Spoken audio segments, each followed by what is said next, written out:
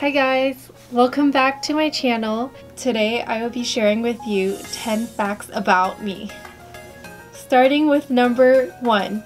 I was born and raised in Seattle, Washington. My dad's side of the family lives in Seattle and my mom's side lives in Portland. We travel to Portland quite often to visit my mom's side of the family. Number 2. I'm bilingual so I can speak Vietnamese and English.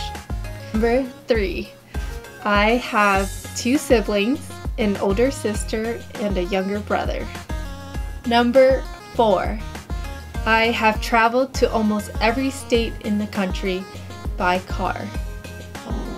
Every year, my family and I love to travel. We would pick a new place to go to. In 2012, we decided to get an RV and just travel around the states, driving all over to see the coast.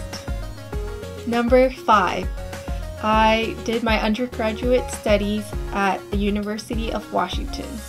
In one summer of my undergraduate studies, I was interested in dentistry so I took a dental assisting course that was 11 weeks long. The course taught me all the basic knowledge about dentistry.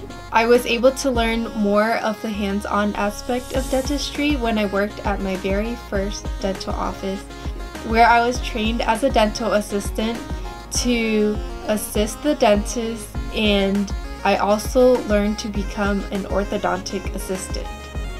I really enjoyed being able to remove and place the ligature ties and it just opened up my eyes to a whole new aspect of dentistry. Number six, after receiving my undergraduate degree at the University of Washington, I continued my studies at Seattle Central College where I went to dental hygiene school.